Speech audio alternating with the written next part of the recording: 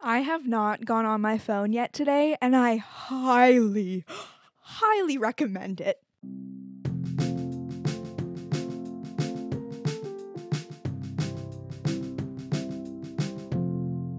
Welcome to day 11 of Podmas. Today we're talking about our phones, being phone free, spending some time away from our phones. And for me, this changed a lot in my last week because my boyfriend was like, Jess, you need this. So let's get into it. I was needing to raise my vibrations for a specific event that I was going to. I may share it in a future episode, so subscribe so you don't miss it. And I was really, really struggling. I was feeling really, really overwhelmed. I was just having trouble making decisions, having trouble getting things done. I wasn't being very productive. And so I was like, uh, homeboy Josh, can we go on a date and you help me solve my problems? And ooh, let's start with the TMI story. So we're in my car and we're parked and we're gonna go into a mall and walk around and have a cute little date. And I'm like, okay, Beb, like I really want to tell you some things I'm struggling with and like get your opinion on them. I like really value his opinion and he knows me really well and can really help me solve my problems. So I'm telling him what I'm struggling with and what I don't how I don't know what to do and whatever. And then like a couple minutes into me ranting to him, he goes, "Sorry, I really have to go poo." and I was like, "Oh my god, that's so like he is at, he is an at home pooer." So I was like, "Oh my god, okay, let's go inside, go poo." And so then we were walking into the mall, and I was like, "So can I finish telling you about my problems later though after you poo?" And he's like, "Yeah, yeah, yeah, of course, of course, of course." And then we were at the rec room and playing like it's like an arcade. We were playing arcade games, and so then at one point he's like, "Okay, so like tell me though, like tell me more about like what you're struggling with." I was like, "No, no, no, this is too overwhelming of a space to do it in. I'll tell you when we like get settled." So then finally, at the end of the night, we're like sitting, we're having some sushi, and we are just like chatting and we're like throwing out all these ideas of like how I could solve my problems and like he's like try sleeping in more, turn off your alarm if you don't need to get up at a certain time or like why don't you make sure you're getting your exercise in or like this and that. We're throwing so many things into the air and I'm like, okay, okay, okay, this could work, this could work, whatever. Then at the very, very, very end of the night, I'm dropping him off. We're sitting in my car and he makes a joke about taking my phone. And he's like, oh, I'll take your phone and I'll give it to you tomorrow. And I was like,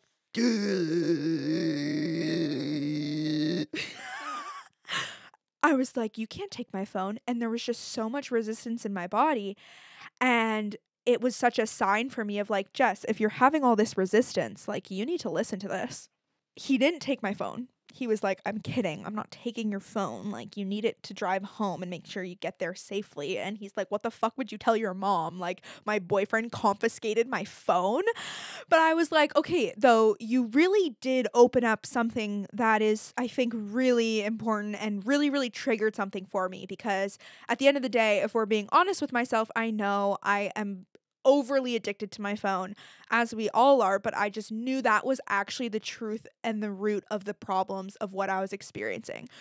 And he's like, Jess, more than ever, because this event is coming up, you need this. Like, you will regret it if you just stay on your phone for the next couple days and you walk into this event with a really low vibe.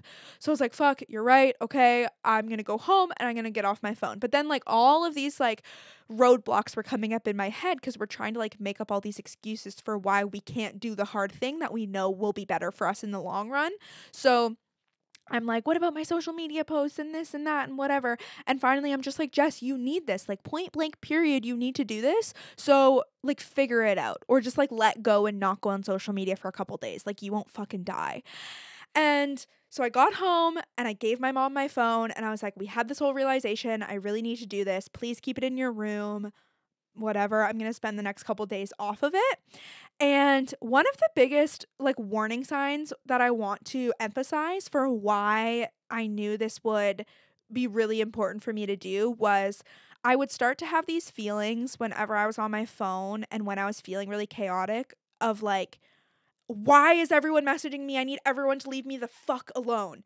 And when I went phone free for a couple days, I discovered that I am seriously not getting a lot of texts. Truly, like, not a lot of people are texting me throughout the day. I definitely have a bit more of DMs on Instagram, but I love my DMs. Always feel free to DM me at Human Pod.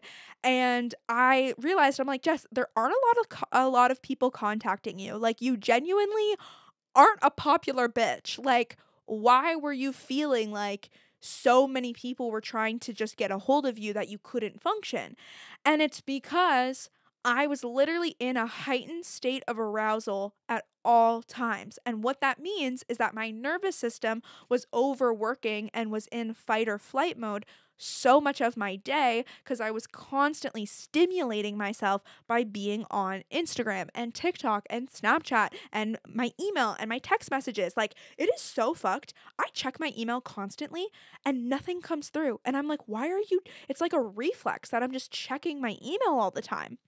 So, huge realizations going on. And I'm like, whoa, Jess, like, you are just forcing yourself to be on this high state of alertness at all times and that's going to burn you out, make you so fucking agitated and exhaust you literally for no reason. I'm like no wonder you can't get anything done. I started to realize that my phone feels like a nagging boyfriend that won't leave you alone. If it's near me in any sort of vicinity, I'm like, oh my God, there's my phone, there's my phone. I need to grab it, I need to touch it, I need to go on it when I do not. And I think it's built that way to just like pull us in and want us to spend our whole lives on it. But suddenly, when I didn't have my phone near me and it was in my mom's bedroom, in my dad's bedroom, my dad was away when this was happening. So that's why I just say my mom. Um, I was like so focused and it was out of sight, out of mind. Not fully, because there was definitely a lot of things that I was like, oh, I need my phone to do this, or not I need it, but it would make it easier to like log into my bank, or, you know, reply to this message, or go check this thing. But then I was like, okay, this is forcing you to slow down and it's helping you get things done quicker. And not just that, your brain feels better. Your brain feels so much more relaxed. And then it's so funny because I had some reels to post for an episode that went live. So I one time literally just like went on, clicked it, and like wasn't even looking at my phone and was just like click, click, post done because I'll prepare reels in advance.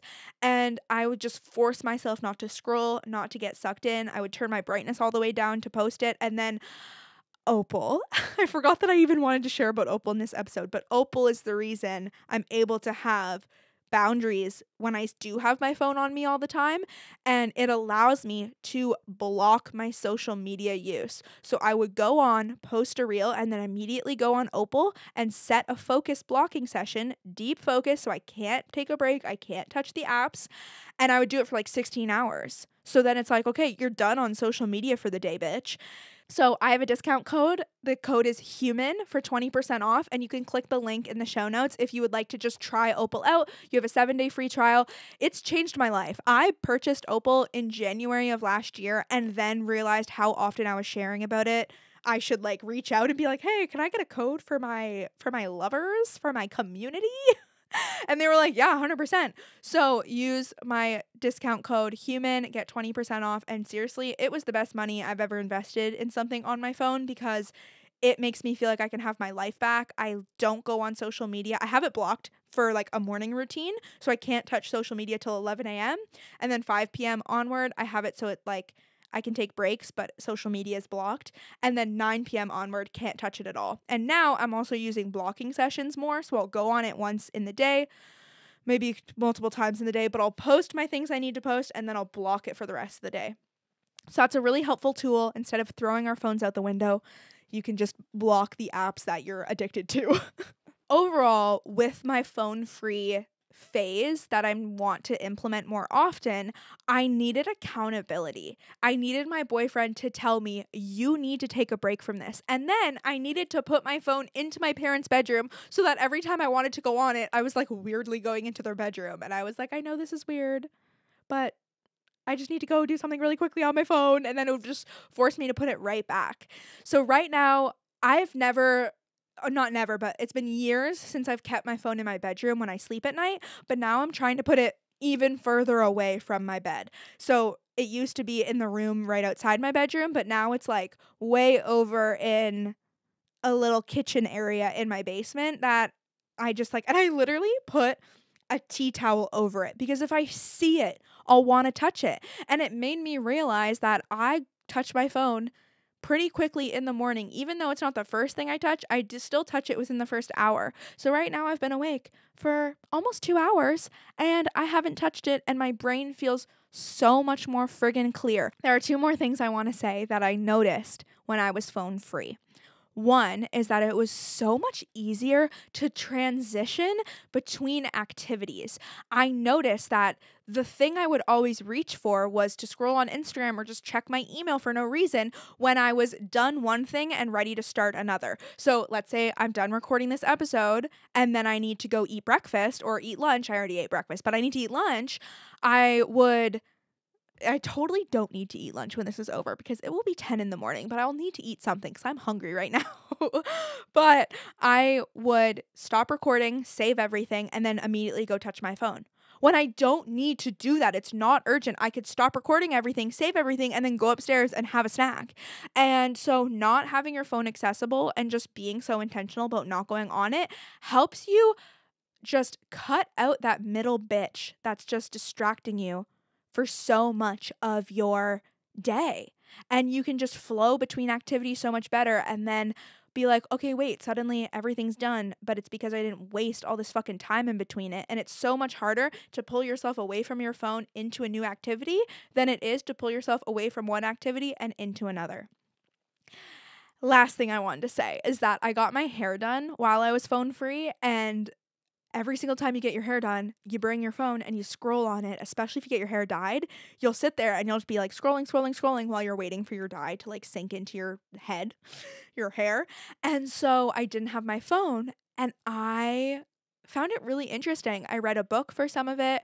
I just stared out the window for other parts of it. I would just wander around and I learned that our mind will entertain itself we don't need to constantly put something in front of it. And the ways that your mind will entertain itself is so beautiful and reminds me of when we were a kid and we'd be on a long car ride or we would just be outside playing because my mind will find ways to just have fun and think about random things without needing this crutch that always distracts us and gives us information. It makes me think about when I did my 10 kilometer race. Near the end of my run in the last kilometer, I was just struggling so much to get through it that I was like, I need to distract myself. I need to go somewhere cool in my brain. And my brain took me to the most interesting place it had ever gone. So know that, like, disconnecting gives us so much more time to let our imagination run and us connect with our inner child and also just like see what things come up when we just give ourselves so much time and space for different things to come to us. You know what I mean? This is why I love yoga. This is why I love to be in nature. And this is why I use Opal because it gives me less distraction to be able to actually make this happen. So if anything, I hope you take away that challenge yourself to go a couple hours today without your phone, go to a gathering without your phone. I drove to go to the Taylor Swift Eras Tour movie because it was like right around the time that it was going to stop playing in theaters. And I drove to a friend's house, picked her up, and went and spent the whole night without my phone.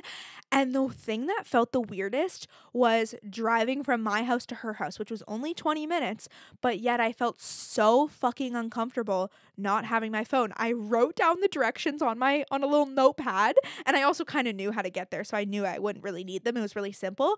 But then I was like, it was so bizarre. Before I left, I was like, this feels like the weirdest thing to text you, but just so you know, I'm not bringing my phone. So I'm going to knock on your door when I arrive, which is like, why the fuck? What kind of era are we living in to have to say that in a text. But she was the best. She literally sat on her porch and she was sitting there all ready for me when I pulled up, which I loved. It meant so much. I am that type of person who's like, you tell me the time you'll be here, and I'm sitting on the porch with my shoes on, ready to go. So that was really cool. And it was just interesting to give myself the opportunity to see how I feel when I don't have this thing next to me as my fucking lifeline. And I've always tried not to be a text- texter and driver. My mom's tried to really instill that into me, but it creeps in at stoplights and it's not good because that's literally how you can get in an accident and die.